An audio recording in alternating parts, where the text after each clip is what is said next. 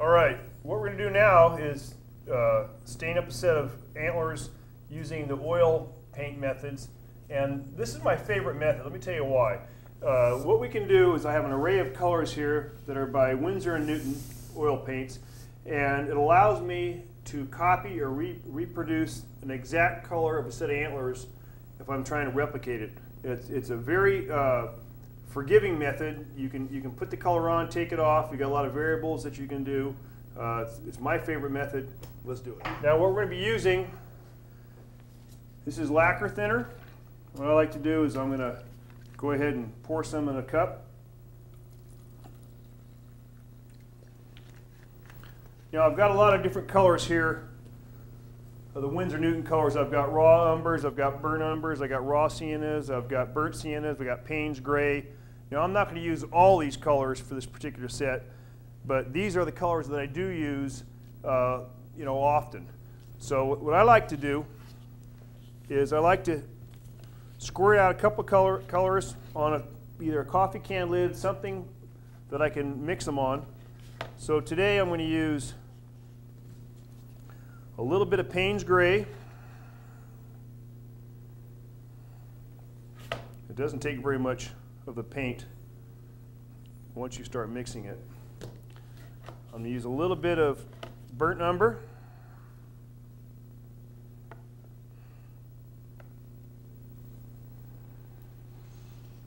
And a little bit of unbleached titanium, which is a white, an off-white color. Now with these three colors, I can create different shades that I want to achieve on these antlers. What we want to do is we want to put thin washes of color on these antlers. Obviously you don't want to come in and just hit the paint itself and, and swab it on there. You know, to get, to get the depth and to get to the color, we've got to put thin washes on. So I always start with the lighter colors first. So I'm going to turn this rack into uh, first kind of a bonish gray color, and then we're going to apply the different browns and hues that we want to put on this. So to do this, I dip my brush into the lacquer thinner.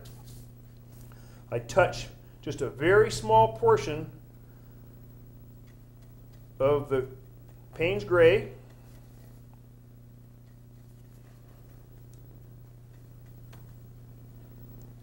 And I'll apply the color. You can see it goes gray right away. And this is going to tone down. That's very light. Yeah, very light. Now the nice thing about using the uh, lacquer thinner is if you make a mistake and you get a color on there you don't like, you can come back with the potassium, I mean, excuse me, come back with the, the lacquer thinner on a brush and take it right off. So until you put that final sealer on,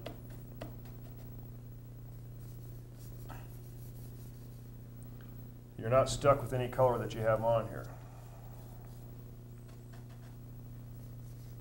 Course, and that thinner evaporates fast too, so that color lays right in there. It does, it does. You know, anytime you're staining these antlers, uh, the, the plastic is not porous, so what you're really trying to do is to get your pigment or get your color to stick to the surface. The trick is to keep dipping the brush into lacquer thinner, dragging the paint to the middle of your lid here, and just thin washes. You don't want to put it on too heavy. If you put it on too heavy, obviously you're not going to get an even, an even look. Uh, and it will not flow. Okay, so what you want to do is do this on both sides, front and back, and then continue to the other side, putting the same color on. Okay, we've already covered the whole antler set with uh, Payne's Gray, and now I'm going to come back with a little bit of raw umber, give another wash coat, and we'll see how that looks. And what happens by putting these different wash coats on, you get a little depth in color, and you can see the uh, natural uh, reproduction of the bone color all the way through. So we're going to do the same thing here except I'm using raw umber. Lacquer thinner goes on and dries very quickly. And that's the nice thing about using the, the lacquer thinner. You can see your results right away. You're not, you're not waiting for a, uh, anything to change color. What you, what you see is what you really get unlike the potassium that goes on purple and you're waiting to see the color that it, that, uh, it dries to. You do have to keep going back to your brush because every time you dip this brush and apply the, the pigment, it starts evaporating right away. So you gotta work relatively quickly to get the color on. And again, we're not worrying about drips at this time. We're just trying to get some pigment on the antlers. Just gives a little brown cast. Exactly. We're trying to get a little brownish, brownish gray cast on these antlers. Yeah, the gray's coming through the, the brown color you're applying Exactly. Yeah, exactly. Typical set of antlers like this, in your own shop, how long would it take you to stain them? Oh, probably 45 minutes. Complete. complete, 45 minutes stop to finish, absolutely. But you gotta realize I've done this a long, long time and done a lot of antlers.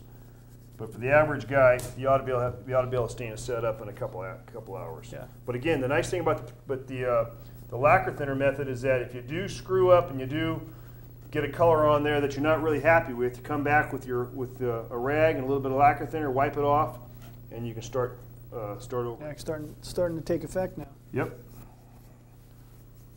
Yeah, as the lacquer starts to dry, it leaves the pigment of the tube oils. It starts to look like a like a set of antlers. Now, like I said before, if I'm in my shop and I've got the original sitting on a bench next to me, I can keep looking over and seeing if I want to add any color to match up the, the antlers that I'm trying to achieve, trying to, to match up. Okay, so I've color up this one side with a second coat of the raw umber. So we're going to go ahead and do the other side, and then we'll come back and see what we have. Great. Okay, so what we've done here is we've put our, our second wash coat of raw umber, and you can see I do have some drip marks and there's some dark areas and, and, and whatnot on here, but we're not done yet, okay? What I'm gonna do is I'm gonna come back I'm gonna wipe any uh, imperfections off with a towel, uh, this terry cloth towel, and then we're gonna come back and darken the bases a little bit. But what you can see is we have a really good color on these antlers now. The, the, we've got the grays, we've got the browns, we got a little bit of light light color from the, uh, the reproductions themselves. Uh, we need to still fine tune these a little bit. So what I like to do is come back with a terry cloth towel, such as this one here, and I'm just gonna kind of rub it a little bit, and you can see some of the color comes off. Okay, but that's okay. I'm just blending any drips, any imperfections uh, that were caused by the wiping the, the stain on. So the thinner's evaporated, but the oil paint is not totally dry yet. That's exactly correct, Mark. The oil paint's not totally dry yet, but the thinner has has evaporated, and that what that's what allows us to be able to wipe the drips off because oil oil paint isn't dried yet. Again, the nice thing about using the oil paints is it does give you a variety of colors that you can achieve by blending and mixing, and you can really produce some accurate antler uh, antler stain. Yeah, once you go over it with the towel there, it really uh, brings out the veins and the, and the Yeah. highlights of everything. It really does. The uh, you can see the antlers starting to take shape, and they they start looking more like the bone gray and the, the bone color that that you'd expect from a from a whitetail. But I do like having mo mo most antlers, most whitetails will have a little bit of darker bases than they show throughout the rest of the uh, set of antlers. So we're going to do that, and and to do that, all I'm doing, I'm using the same color scheme. I'm using raw umber. And all I'm doing is adding more pigment of the paint. In other words, it's not quite as thin of a wash as we use throughout the antlers. So I'll come back and apply this in kind of a stippling method.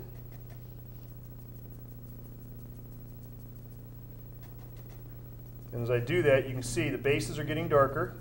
And I'll carry this up to about a third of the main beam, maybe just a little bit more. Yeah, just travel up here and notice you're getting a little bit thinner, Right, backing off on your pigment. right, backing off, and I can also adjust that with a, with a cloth towel when I wipe it off. So you can see this side here, one's a little bit lighter, one's a little bit darker. Now I'm going to turn the rack over and do the back side just by adding a little more pigment of the paint. Okay, next what we're going to do is we're going to seal this up, but we're going to use the same method that we used with the potassium permanganate. Okay, now the, the oil paint does stick to the surface of the antlers a lot better than the, the powdered form of, of uh, or liquid form of the potassium that we used. but I still like to seal it up. I still don't want to be able to pick this up and, and have it scratch off or anything. So what we're going to use again is our, our super fish sealer.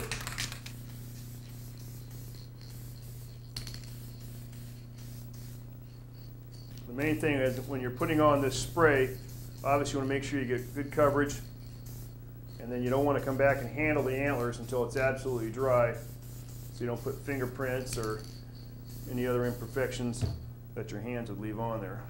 And that's the whitetail deer using the tube oil paints mixed with lacquer thinner.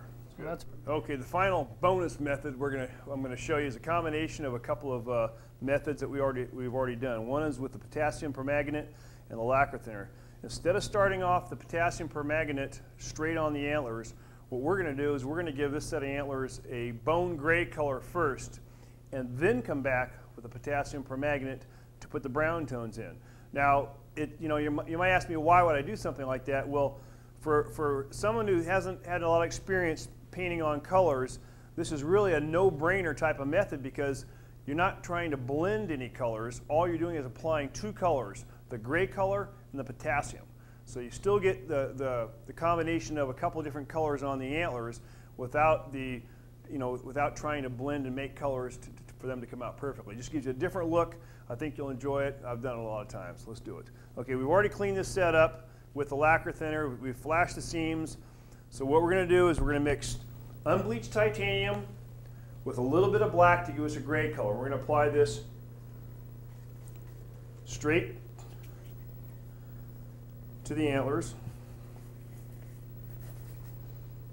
And again, this is going to be a thin wash.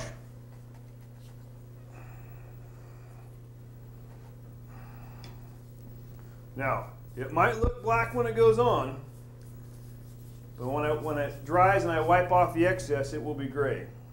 Again, we're not concerned with the drips, the runs at all. We're just trying to get the, the gray color on.